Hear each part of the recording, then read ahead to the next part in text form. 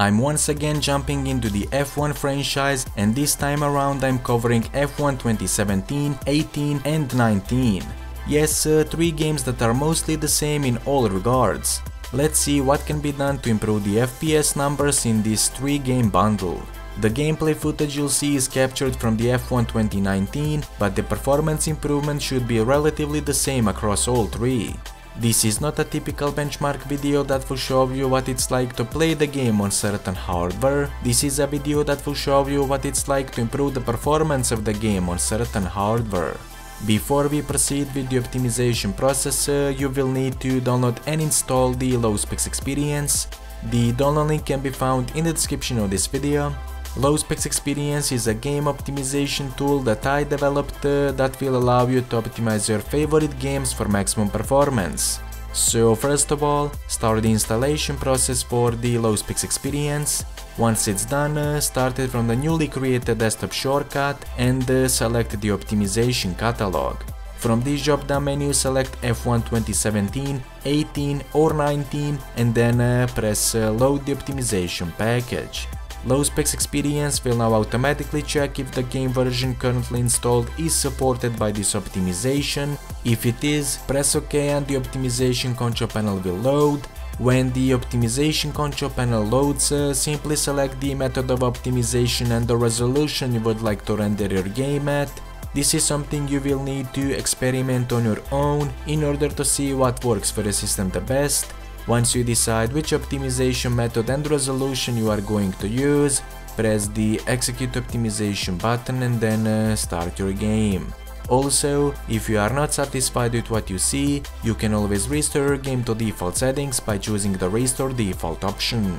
That's all from me for now, if you like what I do, please be sure to like the video and subscribe for more similar content. Anyway, I will see you all next time.